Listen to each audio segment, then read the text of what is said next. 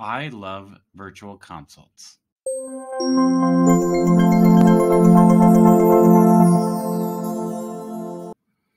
Hi, I'm Dr. Jarod Johnson. I just had three virtual consults in the last hour.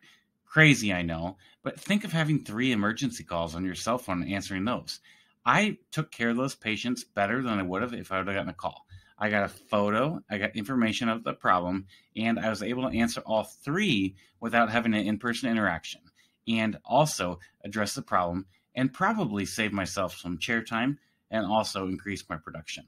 I love virtual consults. They're great for when you're at home and want to spend time with your family and be available for your patients. I also love them because when I'm on vacation, I don't have to worry about being available. I'm available most of the time and it only takes me a minute to respond.